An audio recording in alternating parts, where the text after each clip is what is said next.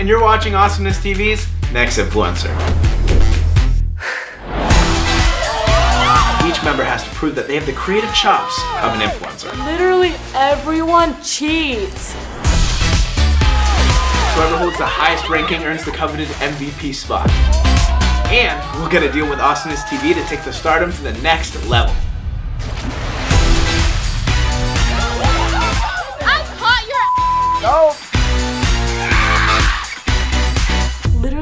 What just happened?